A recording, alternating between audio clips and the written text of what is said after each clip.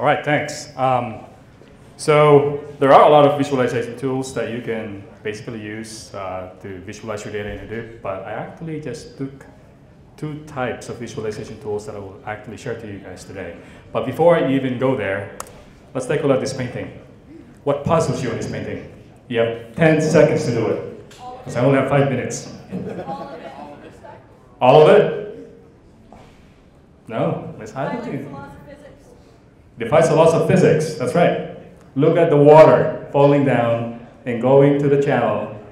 The channel is actually on horizontal plane and at the same time on a vertical plane.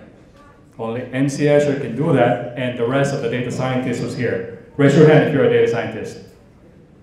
We have one, we have two, three, four. Great, you guys rock. All right, so this is the kind of things that data scientists do every day. Um, they find the needle in the haystack. And it takes a challenge like this.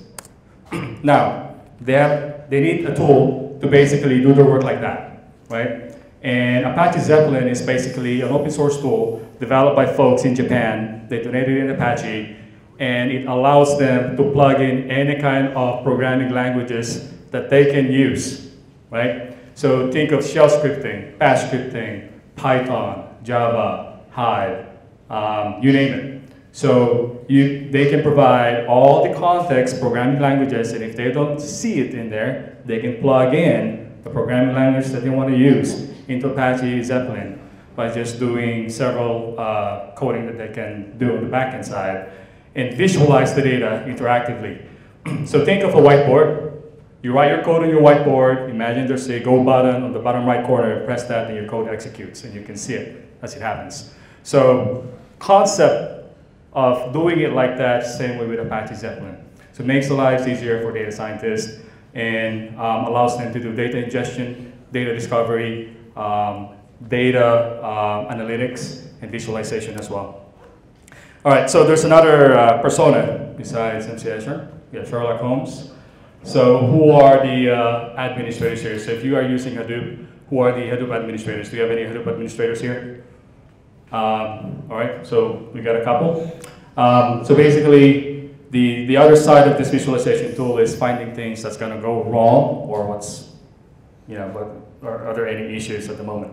Um, so Apache Ambari is an open source tool um, developed by a lot of the uh, uh, organizations working together to provide a easy tool to manage the cluster. So you have uh, provisioning of your cluster, management of the cluster, and monitoring of the cluster. You can take one guy to manage a 1,000 machine node cluster for Hadoop and manage it, and that's very doable. I don't think you can pull it off with legacy systems.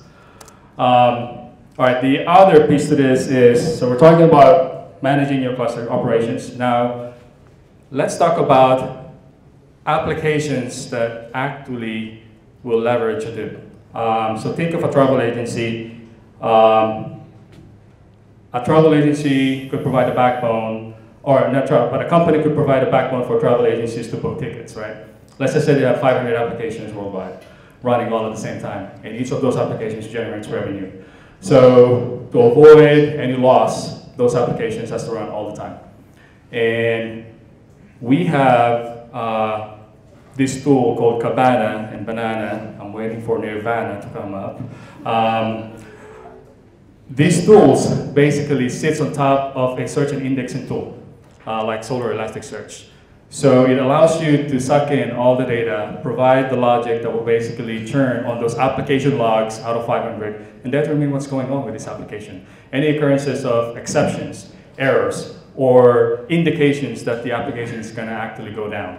Um, so you can see this in real time. Uh, there's actually one organization here in Atlanta, they were able to determine if there's an issue within 500 milliseconds across 500 applications worldwide.